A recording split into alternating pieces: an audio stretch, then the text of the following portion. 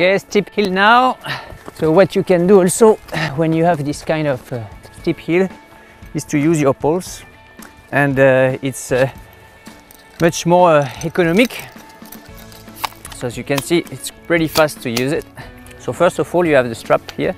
You need to pass your hands in the strap and to pull really your weight on the strap. You should be hyper relaxed. And when you will land your pole on the ground, you should be around your foot Okay. and on the front after directly to be able to push in the front. So when you will walk, of course, with the left leg, you have your right pole, okay? And you push. Just to start, you can just walk like this and then start to use your arms and then you are good in terms of synchronization. There is uh, different techniques in fact for walking and also for running. Yeah. So you have the alternative one, okay, wha- like this.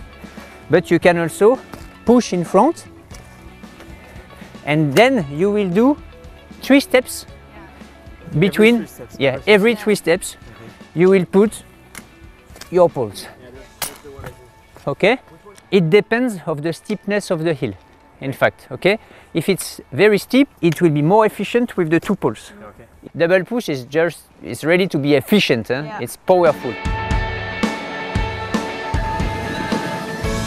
but then try to rebound more to feel lighter you know you should feel that your body is super light and you are just pushing and pushing Body super light.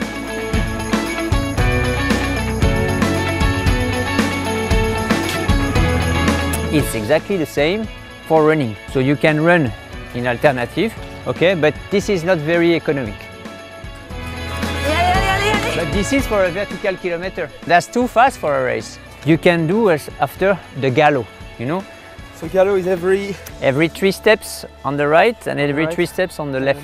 This one is really for endurance one, and this is uh, the one that you can use really on the long races. Okay. Not for a very steep one because of course you will certainly walk, mm. but for a easy climb and also on the flat, it could help. Mm. You need to always keep the same rhythm. You are running, but in fact you are just like this. It's like a music.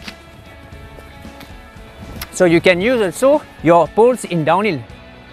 You know, when you have a kind of rocks like this one, for example, you can just arrive and use it it.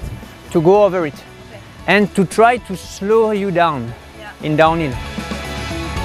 Hey, good job. Thanks for all the insights. Yeah, super helpful for sure yeah thank you. for the race. And after you can get back your uh, poles directly in your uh, quiver. This. like this, yes, behind your backpack. It takes a few seconds, but uh, it's uh, really comfortable after uh, if you want to really uh, run with it. This. Finished? we go. Yes.